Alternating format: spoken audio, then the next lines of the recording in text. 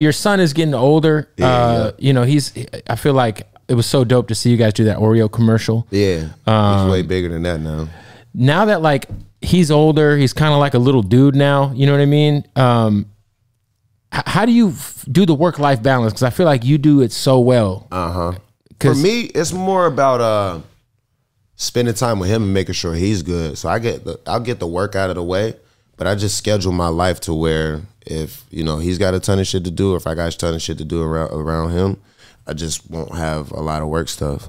Like when you grind for 10 plus years and work every fucking day and like go to the studio every day or go to every meeting or do every drop at a certain point you get to not have to do all of that shit like you get to do it when you want to yeah, Like, you've worked you've goal. worked so hard up until this point to where you can say, yeah and rap's not my only thing you know what i'm saying like i got voiceovers i got a ton of other shit that you know i'm making money off of or my companies that make money that i don't even have to physically show up for so if i have companies that i don't have to physically show up for Like that are bringing me millions of dollars with death. I can spend a ton of time with my son. You know what I'm saying? But Passive I worked income. for that. Yeah, I, affor- I afforded myself that, and I made sure that you know I I made that comfortability for myself.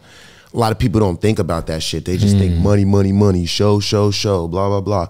All right, well, how much money you gonna make if you don't go?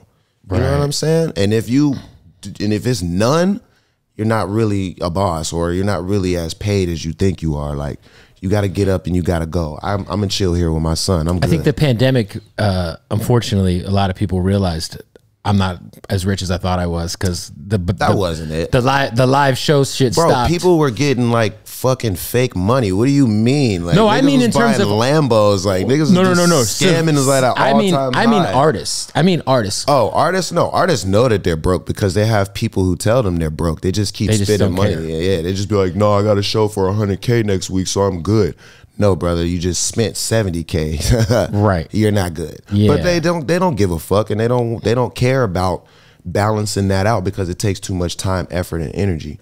Did you have you ever seen an artist fucking off their money that you were cool with, like a younger All guy, and you pull him to the side and be like, "Hey, Every last one of them. And yes, I talk to them. I pull them to the side. Yeah, yep. And did they listen ever? No.